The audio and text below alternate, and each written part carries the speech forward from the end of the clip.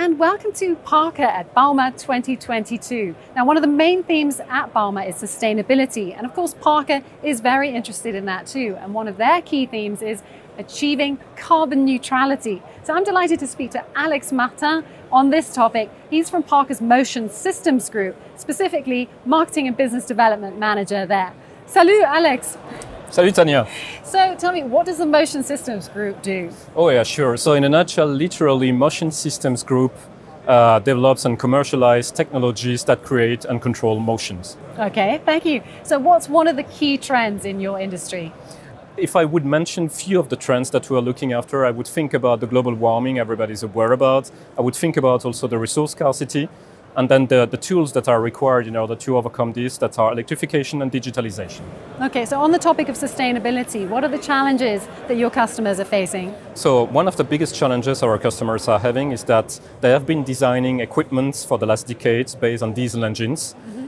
And going towards that uh, electrification journey requires a different skill set. Mm-hmm uh, that they may not all have at this time. Okay, thank you. So, what would you say are some of the innovations that you'd like to highlight here from Parker that support your customers?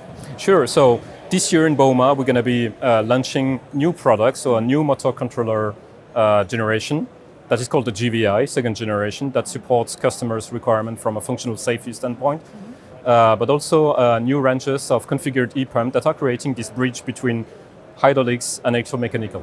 Okay, thank you.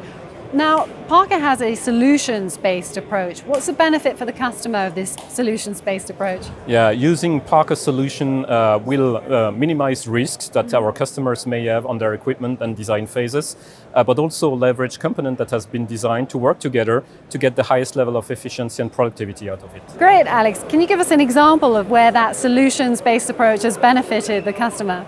Yeah, sure. Lately, we partnered with a customer who was uh, willing to accelerate his time to market with a new platform mm-hmm. uh, of construction equipment. Mm-hmm. Uh, he was missing skill set into his team as far as software and electronic hardware development was concerned and the integration of the electrohydraulic systems. We have provided that support to him, knowing our components and knowing also the end user application and the best way to make all the fit together. Okay, great. One final question for you, Alex. What's a personal thing that you're looking forward to here at the Bauma? So I would have different goals, but I would say that the biggest one would be certainly having the engineers of our customers coming over, looking to the range of products that we're launching, the range of products that we're having, mm-hmm. And uh, understand, talking with our experts, the best way for us to support them in their journey of electrification, and for them to walk back home and say, with Parker, I can electrify.